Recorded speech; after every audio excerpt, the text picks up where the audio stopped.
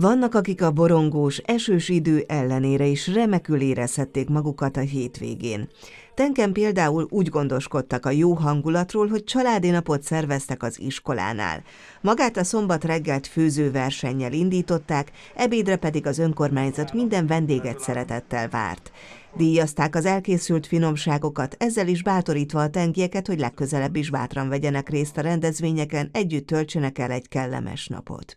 Tenken vagyunk, ahol is az általános iskola udvarán és az általános iskolába egy nagyon szép családi nap került ma megrendelésre.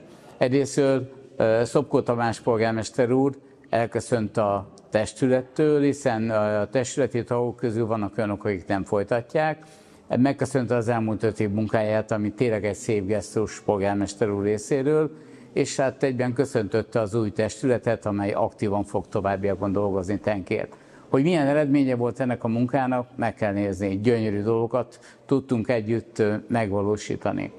A családi nap a köszönet és a hála napja is volt, hiszen ezen a napon mondta köszönetet mindazoknak, akik eddig vállalták a közös munkát Tenk jövőjéért, és köszöntötték az újonnan megalakuló testület tagjait. Délután nyugdíjas klubok találkoztak és léptek fel, majd koncertek követték egymást.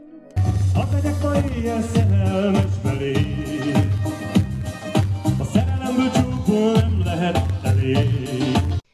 A kisebbeket ugrálóvár és meglepetések is várták, többen is éltek a lehetőséggel és csúszkáltak le örömmel.